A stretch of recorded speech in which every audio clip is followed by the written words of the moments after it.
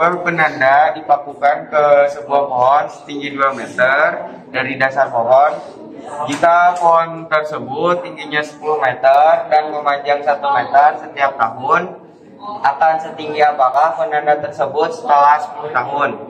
Jawaban 2 meter karena tanda tersebut akan tetap terletak 2 meter di atas permukaan tanah karena bagian batang tersebut tidak lagi mengalami per pertumbuhan primer namun bertambah lebar atau tebal karena mengalami pertumbuhan sekunder Oke, sudah. Assalamualaikum warahmatullahi wabarakatuh. Waalaikumsalam warahmatullahi wabarakatuh. Di sini saya akan mempresentasikan hasil kerja kami. Bila kalian membuat bakwan atau bala-bala, kalian menggunakan kecambah atau toge. Menurut kalian, toge tersebut termasuk tipe hipogeal atau epigeal? Berikan alasan kalian. Jadi, toge termasuk tipe epigeal karena memang kotiledon itu ke atas berbeda dengan tunas kelapa. Termasuk tipe hipogeal karena kopiledonnya di bawah. Oke. Daerah pemanjang merupakan daerah yang terletak di antara daerah pembelahan dan pendewasaan. Pemanjang sel pada daerah itu bertujuan untuk menekan ujung akar termasuk meristem akar dapat menunjang dan menembus tanah. Pemanjang sel dapat terjadi karena pada daerah ini terdapat kapilon-kapilon sel yang berukuran besar sehingga memungkinkan untuk menyerap air dalam jumlah besar. Itu sebabnya jika pasokan air jika pasokan air cukup, maka akar akan cepat tumbuh panjang. Oke, sudah. terdapat meristem pengobatan yang setidaknya mengalami dalam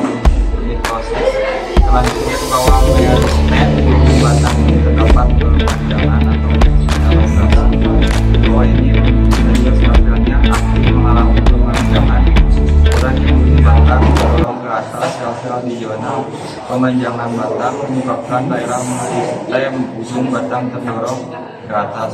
Hal ini adalah hal ini yang menyebabkan batang menjadi semakin tinggi karena mengalami pertumbuhan ke atas.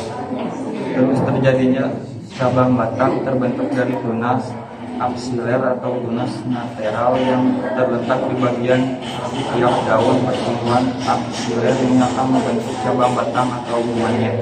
Oke, thank you. Lingkaran jawaban lingkaran tahun menunjukkan umur pada pohon dan merupakan aktivitas kam kambiun yang terjadi pada pohon jenis dikotil.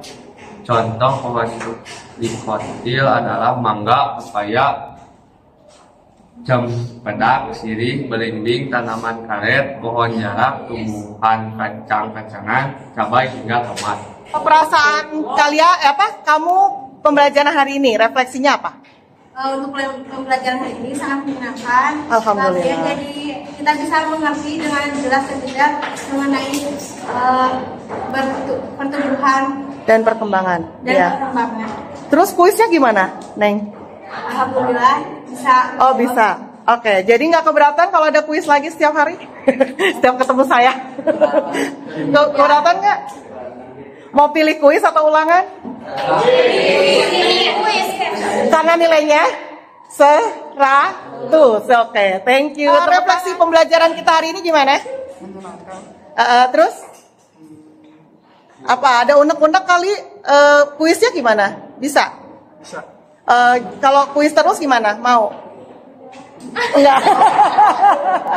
Oke, thank you ya. Tepuk tangan buat semuanya ya.